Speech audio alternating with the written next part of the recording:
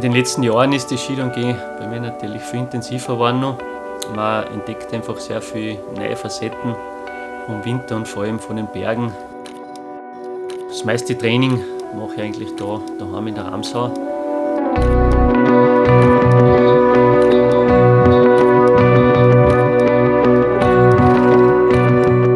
Das Skiroller-Training ist ein sehr wichtiger Bestandteil vom ganzen Sommertraining. Kurze Roller mit, mit Rädern. Man kann da einfach das Tourentraining oder die Tourentechnik sehr gut imitieren.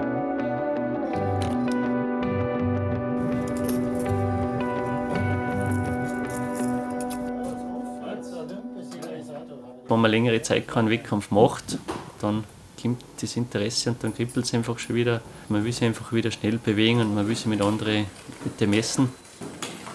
Nach der Saison ist man dann doch wieder froh, wenn man mal eine gewisse Zeit wirklich normalen Sport ohne Stress und ohne Wettkampf machen kann.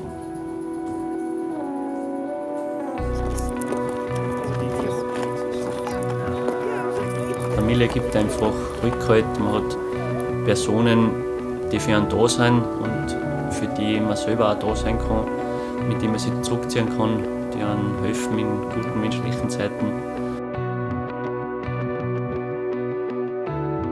Ich schaue mal, dass ich das machen kann, was mir momentan Spaß macht. Das ist Sport auf der einen Seite, das ist der Entwicklungsbereich bei Fischer auf der anderen Seite. Und solange ich gesund bin und das nur halbwegs erfolgreich machen kann, möchte ich das auch, solange es geht, noch machen.